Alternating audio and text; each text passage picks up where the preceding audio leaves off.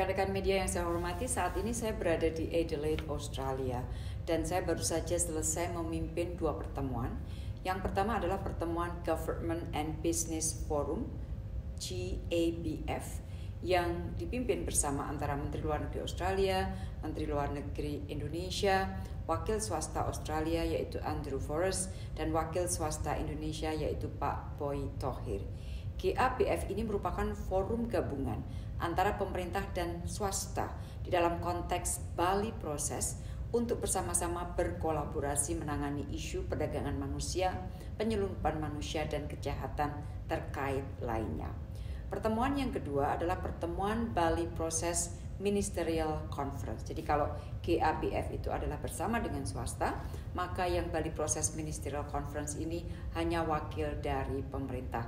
Pertemuan kali ini adalah pertemuan yang ke-8 dan saya pimpin bersama dengan Menteri Luar Negeri Wong. Sekali lagi, kedua pertemuan tersebut merupakan mekanisme kerjasama dari, dari Bali uh, Proses. Sebagaimana diketahui bahwa Bali Proses ini didirikan tahun 2002 oleh Indonesia dan Australia dan merupakan forum konsultasi regional yang membahas isu tindak pidana perdagangan orang, penyelundupan manusia, dan kejahatan terkait lainnya di kawasan. Anggota dari Bali Proses ada 45 negara dan entitas serta empat organisasi internasional yaitu UNHCR, IOM, UNODC dan juga ILO. Selain memimpin uh, Bali Proses Ministerial uh, Conference dan juga pertemuan bersama dengan bisnis dalam kunjungan ke Adelaide. Saya juga melakukan beberapa pertemuan bilateral yaitu dengan Presiden Kiribati, kemudian dengan Wakil Presiden Palau, dengan Menlu Solomon Island dan juga Menteri Luar Negeri Bangladesh. Rekan-rekan yang saya hormati, saya ingin mulai dengan pertemuan Bali Process Ministerial Conference. Pertemuan ini dihadiri oleh 36 negara, satu teritori khusus dan empat organisasi internasional yang merupakan anggota dari Bali Proses plus enam observer. Seperti tadi yang saya sampaikan, pertemuan dibagi dua bagian, yaitu Government and Business Forum yang membahas yang merupakan gabungan dari pemerintah dan swasta dan membahas perkembangan dan komitmen uh, acknowledge, act, and advance yang kita sebut triple A, rekomendasi triple A dan area untuk kolaborasi ke depan. Bagian yang kedua yang hanya pemerintah yang tadi saya sebutkan Bali Proses Ministerial Plenary yang membahas isu teknologi, masa depan Bali Proses dan sekaligus di dalam pertemuan tadi mengadopsi Adelaide Strategy of Cooperation 2023. Dalam sesi GAPF, saya didampingi oleh Pak Boy Tohir selaku perwakilan dunia usaha dan di dalam pertemuan GABF saya sampaikan bahwa dunia usaha harus berperan mengatasi tindak pidana perdagangan manusia dan kerja paksa dalam kegiatan usaha dan rantai pasok mereka. Saya sampaikan data di dalam pertemuan bahwa ILO memperkirakan setiap hari ada 27,6 juta orang yang menjadi korban kerja paksa. Dan mayoritas kasus tersebut bermula dari buruknya proses rekrutmen yang termasuk dilakukan melalui tindak pidana perdagangan orang. Saya juga tekankan dalam pertemuan GABF mengenai pentingnya kemitraan pemerintah dan sektor swasta untuk memerangi perdagangan orang saya juga garis bawahi perlunya memberikan perhatian khusus terhadap semakin maraknya online job scams.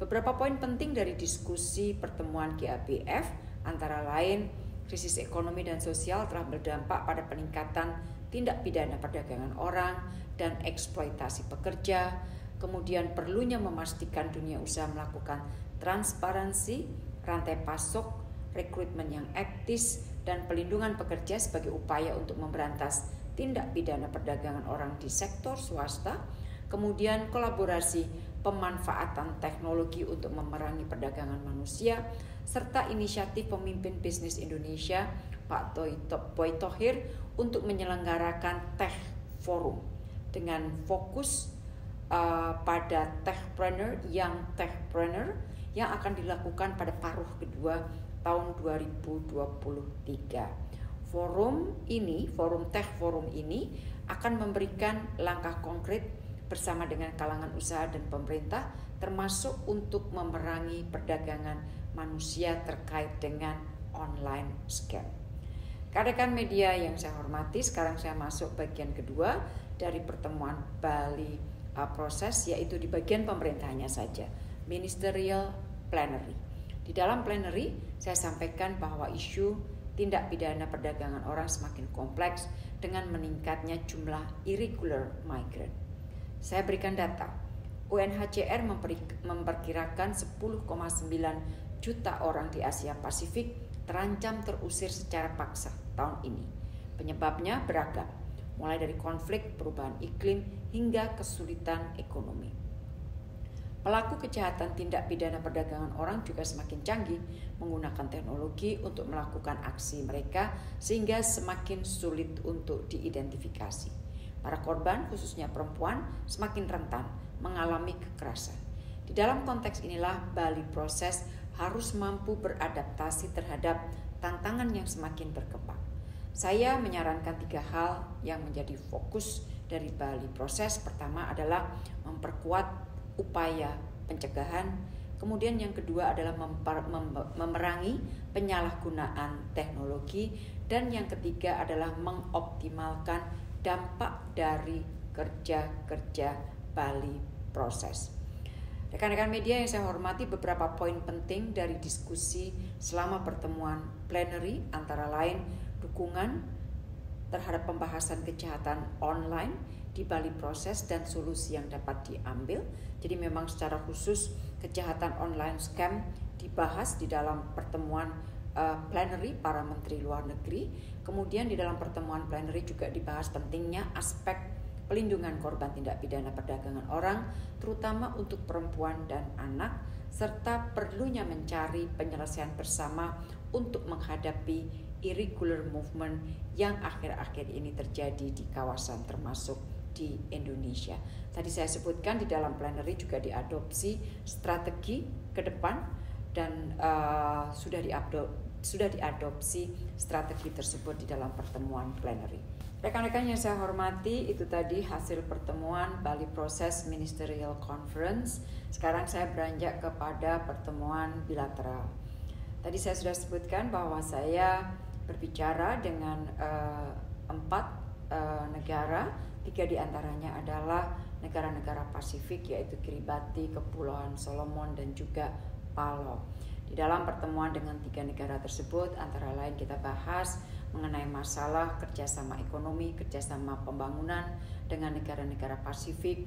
Mereka menyampaikan apresiasi yang sangat tinggi kepada Indonesia atas kerjasama dan bantuan yang Indonesia berikan kepada negara-negara Pasifik secara khusus Wakil Presiden Palo menyampaikan bantuan, menyampaikan terima kasih terhadap bantuan Indonesia selama berlangsungnya Our uh, Ocean Conference di uh, Palo. Saya juga membahas dengan ketiga negara tersebut kerjasama konkret di bidang ekonomi dan pembangunan dan saya menyampaikan mengenai pentingnya kita membuat sebuah plan of action untuk kerjasama pembangunan yang uh, tailor made untuk masing-masing negara dan mereka sangat menyambut uh, baik rencana untuk membuat plan of action uh, kerjasama pembangunan Indonesia dengan negara-negara Pasifik. Dan mereka juga sangat menghargai upaya-upaya lain yang dilakukan oleh Indonesia untuk Pasifik antara lain melalui G20 di mana wakil dari Pasifik diundang, kemudian ASEAN di mana kita ingin mendekatkan kerjasama antar sekretariat antara BIF dengan ASEAN dan juga rencana diselenggarakannya uh, ICE uh, Summit uh, Archipelagic uh, Small uh, Island State Summit yang rencana akan dilakukan pada tahun ini. Sementara pertemuan dengan Menteri Luar Negeri Bangladesh saya bahas mengenai masalah penanganan pengungsi Rohingya, upaya ASEAN mengatasi uh, situasi di Myanmar, penguatan kerjasama uh, IORA, dan juga kerjasama ekonomi. Dan kita berdua berkomitmen agar negosiasi PTA dapat segera diselesaikan. Demikian yang dapat saya sampaikan dari hasil kunjungan satu hari saya di Adelaide. Uh, terima kasih banyak teman-teman, sehat selalu.